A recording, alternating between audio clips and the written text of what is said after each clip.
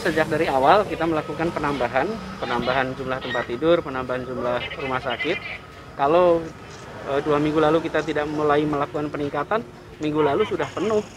Saat ini alhamdulillah masih bisa tertangani, tetapi kita semua harus ekstra hati-hati karena tidak mungkin ini kalau seperti bocor, atap bocor, kita hanya membesarkan terus ember untuk menangkap bocorannya, tapi lubangnya itu harus ditambal. Cara menambalnya bagaimana? Mengurangi aktivitas yang tidak perlu, mengurangi interaksi, itu hulunya harus dibereskan. Jadi sama-sama kita kerjakan.